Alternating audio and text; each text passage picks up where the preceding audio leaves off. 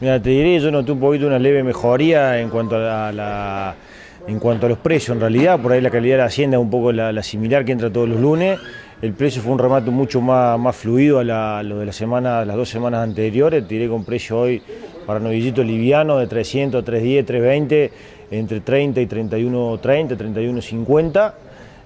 la vaquillona similar, entre 30 y 31 pesos, después de 360, 380, 400 kilos entre 29 y 30 pesos.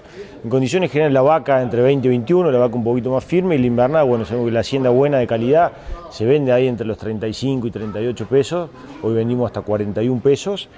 Eh, y después la invernada un poquito más, floja de calidad, entre los 30, 31, 32 pesos, por supuesto de un novillito de 220, 230, 240. Eh, y alguno entre 27 y 28, no de 300 kilos. Pero en condiciones generales un buen remate.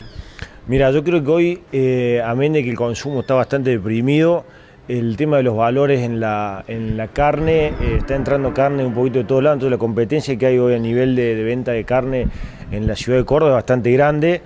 Eh, esta mañana hablaba con algunos clientes y me decían, mira, de estar vendiendo, no sé, 100 mitades por semana, está vendiendo 150 y alguno un poquito más. Entonces yo creo que está, empezando a aumentar un poquito el, consumo de carne con estos precios. El precio de la carne está, te bastante quieto. Eh, yo creo que el, tema de tener un fin de año, ya arrancar el mes de diciembre y demás, siempre uno, viste, el tema de la fiesta y demás, eh, mueven o influyen un poquito en los precios.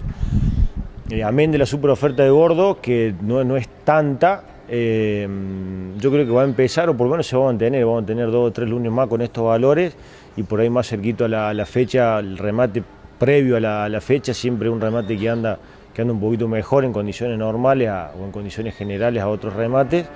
Eh, así que después de la segunda quincena de diciembre va a levantar un poquito el precio.